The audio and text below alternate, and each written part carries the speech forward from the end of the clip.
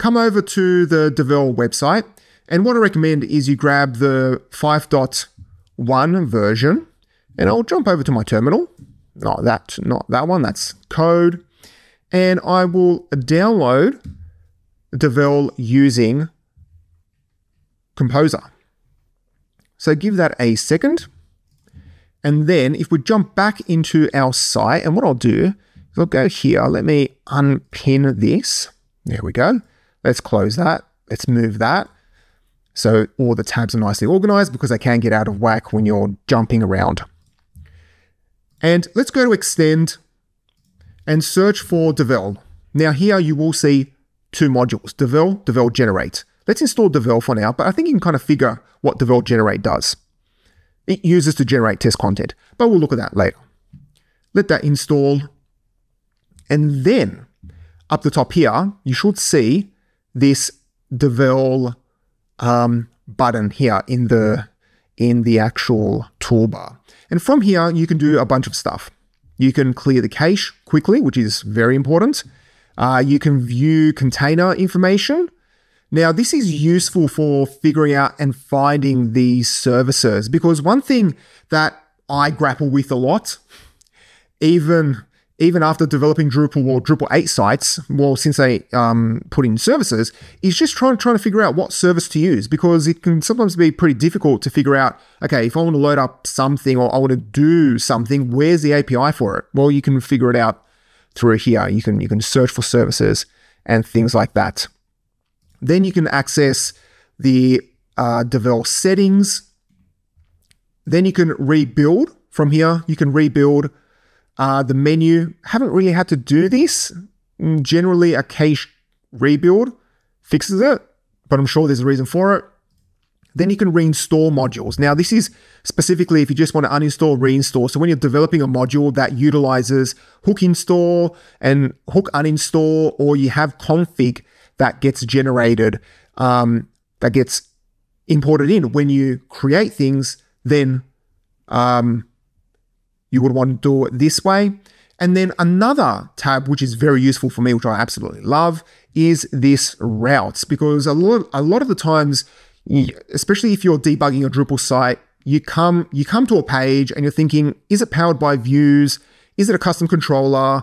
Is it something else?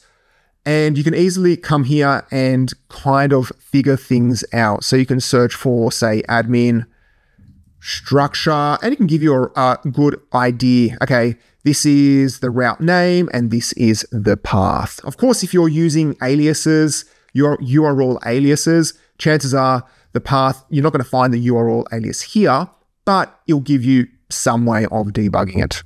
And then on the right hand side, we have Devel, the Devel button, which gives you just a bit more information about uh, the actual route. So here you can figure out access. That's another huge thing. Figure out access and things like that. All right. And then, of course, finally, if you want, you can go ahead and click and run cron. All right. Now let's jump to Devel settings and go to toolbar settings. And from here, you can actually enable a few extra things. So let's enable current route info, config info, and theme registry. And click on save. And now what we have is if we go to the homepage and click on, well, no, let's actually go to my account. And if we, and if we click on current route info, that will actually tell you the route information for that page. So straight away you can see, so let me just zoom in a little bit more. Hopefully you can see that. It's probably a little too small on the screen, but it just gives you the exact controller where everything is. And, and, and it's just an easy way of just debugging things and figuring out, okay, this, this path, this route is controlled by a controller. Um, okay, that's it. I can go in there and edit things. Uh, then you have theme registry. This gives you information about all the themes on your site, which is again useful if you're trying to debug things or you want to find and look for themes. And then you have, and this is an interesting one. I just discovered this while I was preparing for this video. I haven't tried this myself, but hey, you can do it. Config editor. Now, I've recently been working on a site where I've been migrating um, um, a bunch of sites from Display Suite to Layout Builder, and I'm dealing with a lot of config, naturally. And having the ability to modify config is actually pretty useful. So you can come along in here and just simply modify, I believe this is the active state config. And sometimes, I don't know when, but it may be handy. But of course, you wouldn't want to run Devel now. I I don't recommend that you run Devel on an actual production site. So just use it locally or even a staging site or a development site or something like that. So just be careful. Don't run it on a dev site.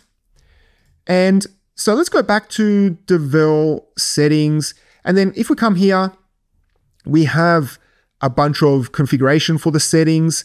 I'm not going to go through through it too much,